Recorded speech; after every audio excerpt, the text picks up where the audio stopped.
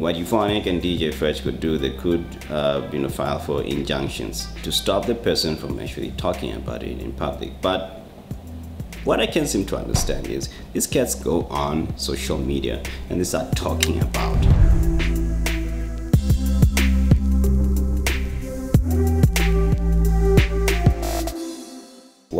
morning guys, how you guys doing? Uh, welcome back to my channel. I talk about everything that goes down in the film industry, especially for Christians who are looking to make it in the industry. I've been around for some time and I've been seeing a lot of things. I've been meeting a lot of people. So I'm to try to keep it real and try to be as objective as possible when I respond to a lot of the um, events that are going on. If you want to stay updated with my content and what's going on, do drop a like, do subscribe, or hit that notification bell.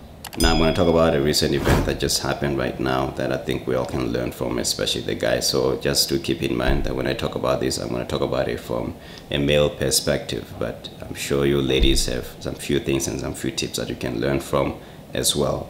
Recent reports just came out that DJ Fresh and Euphonik voluntarily stepping down from their roles because of a rape accusation. Now, this is real crazy because it just so happens that it's all over Twitter. And one of the other crazy things that are just going down is the fact that the lady says that she was a virgin at that time. And for the record, you know, Twitter blocked me, so I can't really, I can't really log in and I can't, stupid nonsense, man. I don't care. I'm not gonna retract that tweet, just so you know, okay? At DJ Fresh SA and Euphonik Will you ever acknowledge drinking me and further raping me? Okay, drinking me, it's the language. Anyway, it's Twitter. It's really hard to come out when you know that you're going up against people that are powerful, who have fans and everything. It's been a well-known fact that when someone goes through a situation like that and you're dealing with powerful people, it's relatively harder to talk about it because they have the money, they've got the power, they've got the lawyers. There's always going to be a stereotype hanging over the situation, and you're always going to be perceived as you're a person who's after the money and everything. Now, DJ Fresh, as a, aka the big dog, isn't new to all these allegations. You know, there have been allegations labeled towards him before. Now, the two guys are actually on social media. I can't believe this. They're actually you're not supposed to go on social media when there's an investigation that is going on. This is what you need to pick up. You want to come into this industry and you really want to put yourself in the public eye. You want the fame, you want the success, you want the money. Great, awesome. I'm happy for you if you want that. However, that comes with responsibility. And this is the one word, the number one thing that a lot of people don't ever, nobody seems to want to tell you about that. Okay, fame comes with responsibility, comes with obligations, obligations, standards, values. You gotta have that, you gotta cultivate that. If you don't have that, you're gonna find yourself in a lot of trouble, an awful lot of trouble. Okay, you gotta determine what kind of company is right for you. If you wanna come in this industry, and you really want to put yourself in that position, you got to know that the stakes are very high. You got to know your company. A lot of guys come into this industry not knowing who am I supposed to be hanging out with? Do these people have good intentions with me? What are their intentions? What do they want from me? Everybody wants something out of somebody. You got to know that. What do you have that somebody can benefit from? You understand what I'm saying? What type of other companies are they introducing you to? You know, they're taking you to parties and hangouts and all that nonsense, and you feel like, yeah, you're the man, you're out there you're balling, right? You're in the social scene, you're in the celebrity scene. Now they're connecting you with other celebrities and everybody, right? But what you don't know or what you don't seem to get about that is, you know, the type of people that they might be introducing you to. Are they introducing you to the kind of company that has good intentions? Back to you.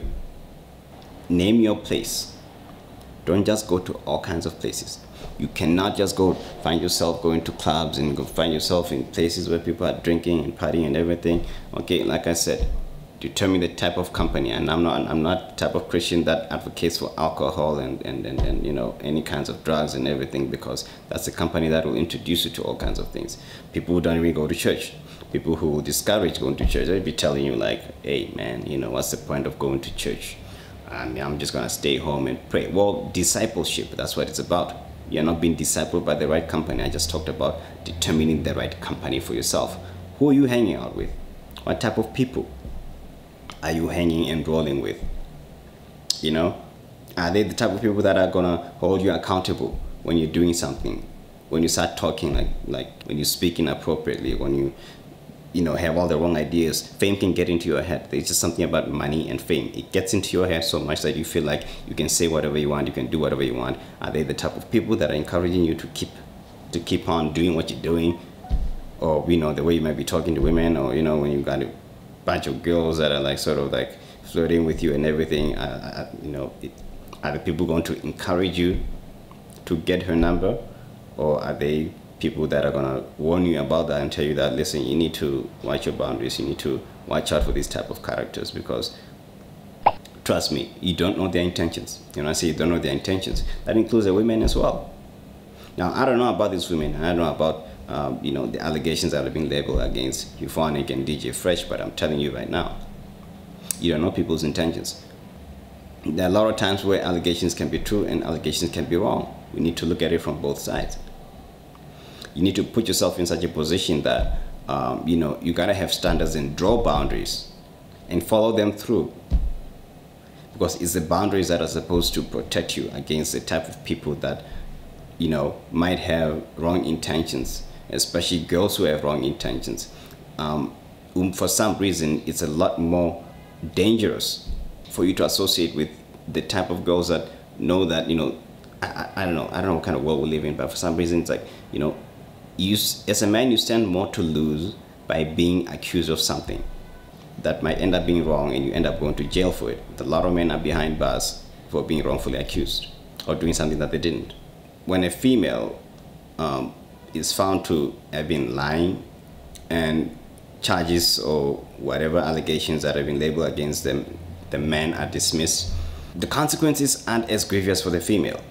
That's the kind of world we live in. That's what you gotta understand.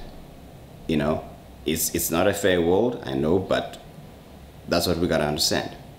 Drawing standards and boundaries, having values and having standards helps you to simply determine or you are putting yourself in such a position that um, there are lesser chances of a person making an allegation about you that something went down. It becomes less believable because of the boundaries that you've set and because of the times and because of the places where you're at and because of the way that you interact with people. It becomes a lot more easier to vindicate yourself. It becomes a lot easier to argue your case because your case is so easy and crystal clear and so easy to distinguish. If you have boundaries whereby you you don't want to find yourself in the same space or in the same kind of um, you know being alone with a female or with females in such a way that you know especially especially females that you don't know you know don't going out clubbing with females if you if you if you if you look if you're that type of dude you want to go out there and you know party with women and whatever the case may be draw boundaries. Don't ever find yourself in a situation especially giving them lifts giving females lifts. If you don't know them if you don't trust them or if it's not somebody that that you know you or somebody who's known by somebody and you know there's mutual trust and confidence there that's something else sometimes you need to use your discretion but boundaries are important it's to avoid temptation this industry is not your friend you gotta get that straight there's just all kinds of stupid things that happen sometimes that I don't know what's going on with some of these guys. You got Katlego Maboe as well, um, who's another report just came out that he's going back in court for violating. Um, he was arrested earlier this month for being in contempt of court. Here's the thing. Look, he was living with his girlfriend. All right, cohabiting. Bad idea. These cats are getting involved with in, in relationships and I, I, look i don't want to sound like i'm coming hard on somebody. I don't know the guy. I don't know his heart i don't know everything. Um, but the point of the matter is that is, look let's have some standards. You're a christian be a christian. Draw standards about how you live your life. A lot of times you get all these reports about these celebrity guys and there's some funny story about him cheating Some funny story about you know, um, he's living with his girlfriend and everything. Like, yo, big red flag. Like, dude, come on. You know, look, if you're a Christian guy, be a Christian about how you're gonna live your life. You're doing it to protect yourself from unnecessary publicity, from, from unnecessary things of all kinds and of all sorts. All right, anybody is prone to drama. Everybody's life is gonna be mixed and tangled with some kind of drama. But if you're about Christianity, then be a Christian. Okay, be a Christian about your work. God wants to help us and save us. Anything that God, anything that is considered a sin is what harms us. It ultimately brings pain and suffering to our lives. For some reason, we believe in the, this delusion that, you know, we can make it our own way, okay? You know, if you want to go and live with your girlfriend or whatever, you know, you know, you want to do your own thing, okay, good luck with that. Go do your own thing, you know, good luck with the pain and the misery and everything, all right? I don't know why people just never learn, but there are some people that look attractive.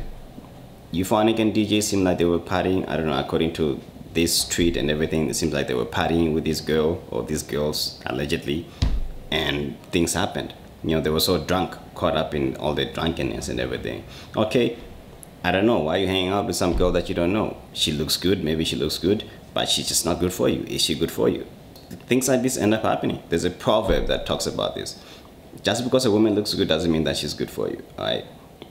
The lips of a seductive woman are oh so sweet. Her soft words are oh also smooth, but it won't be long before she's gravel in your mouth, a pain in your gut, a wound in your heart. She's dancing down the primrose path to death. She's headed straight for hell and taking you with her. She hasn't a clue about real life, about who she is, or where she's going. So, my friend, listen closely. Don't treat my words casually. Keep your distance from such a woman. Absolutely stay out of her neighborhood. Stay out of her neighborhood. Neighborhood can be translated in different ways. Which neighborhood you're at. Neighborhood doesn't have to doesn't necessarily mean that the same surroundings, but stay away from her business. Don't commute, don't associate, don't frolic, don't flirt with her if you don't even know what a girl's intentions are, maybe you know your own intentions. If you know your own intentions, then I'm not talking to you because you know what you want. So you want to get what you get, you get the trouble that comes with that. Now, I'm not saying these guys are guilty of anything, but all I'm saying is that you need to look at the circumstances at which all these things are going on. What's going on? What were you doing? What is your life orientated by while you're doing what you do? So if you're a Christian and you really want to get into this industry, then keep it real, keep it professional, and keep it real about what you're about. Even Sjava was accused of rape. Why does this always happen to all these guys and all these men and everything? You gotta look at all these circumstances and everything.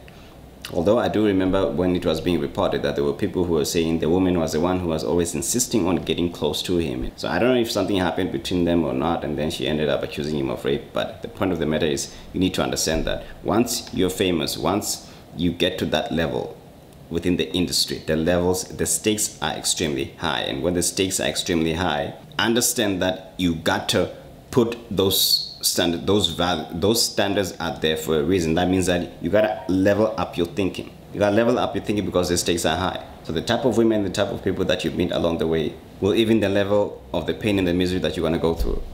So keep it real.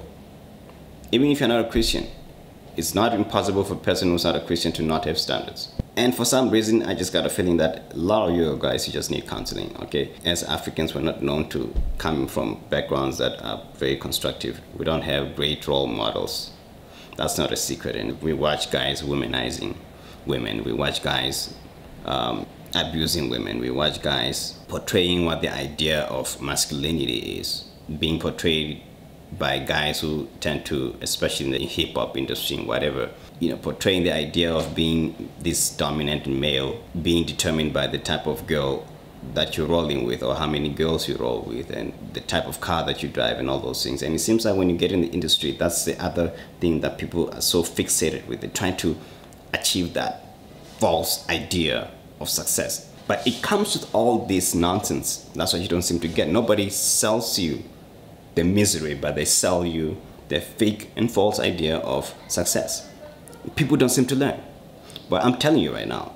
So if you really want to get into this industry, you better know what you're getting yourself into. Know your lane, know your company. Play your gig, go home. Play your part, go home. Film, make your film, be on set, be on time, do your thing, you know, hang around with whoever hang around with. When it's time to go home, know that you gotta go home. Know your friends, know your lane. Go to church. Know who disciples you. Be discipled. Church is about being discipled. Okay, it's not about worshiping God, it's about being discipled, being with people who are going to hold you accountable, being people who know what's good for you and what's good for you. You present yourself vulnerable to them, they present themselves vulnerable to you, vulnerable in a sense that, um, you know, we're transparent with each other about what we want to achieve in life, what we want to achieve, um, what we struggle with, and how we want to get there. Um, you know, I'm sure every church has those structures, but the point is, you gotta know where your lane is and stick with it. Because otherwise, you're to end up being like some of these guys that end up being in the industry. They mingle, they mingle with all the wrong crowds and they get into all these, you know, lifestyles or alternate lifestyles of some sort. They believe in the lie. And when they got caught up in the lies or in the lie, okay, in that false idea, false narrative, there's all kinds of episodes that come with that. So I don't know if you want that kind of issue or that kind of nonsense. And yo, guys, if there's an investigation going on, you gotta know that there's a little something called pretext bait. Don't go and tweet about it. It could be used as pretext bait to get you to react by the other party or the investigators or whatever. Okay? Investigators use social media to get more information on what they're investigating. Do not respond to somebody if somebody tweets about something or makes an accusation to you on social media, do not respond. Let your lawyers deal with that. These guys are responding about this whole thing, man. Like, what the heck is going on? Bad idea. Like I said, they could file injunctions or to have her stop saying whatever she's saying on social media. This needs to be dealt with legally. Like I said, I'm being quite objective about this. I don't know what the story is, but the point of the matter is it's a story, it's out there. These guys are dealing with that. So let's deal with that. So that's why all this nonsense happens in the industry. Whether you're Sjava, whether you're Euphonik, you're, you're fresh, you're Bill Cosby, you're any other name or whatever the case may be. I don't know, man. Okay. But stuff goes down in the industry, the good, the bad, and the ugly. The question is where you're going to find yourself when you're there. Remain prayerful and stay true to your craft. Alright, thanks for watching my video. Do like the video if you like the video. Do leave a comment in the comment section and tell me what you all think. If you found this video helpful in some way or you got your own advice to give, do leave a comment. Um, and tell me what you all think about all this drama that's going on in the industry and everything. And do subscribe to this channel if you want to support the channel. Notification bell, stay updated with other video content that I'll be making if you really want to support the channel. Uh, do engage it's good for the algorithm and do like the video because it's, it's, it's good for the algorithm as well. So I'm gonna keep it real with you guys and I'll see you guys in my next video. Thanks for watching and keep it real. All right God bless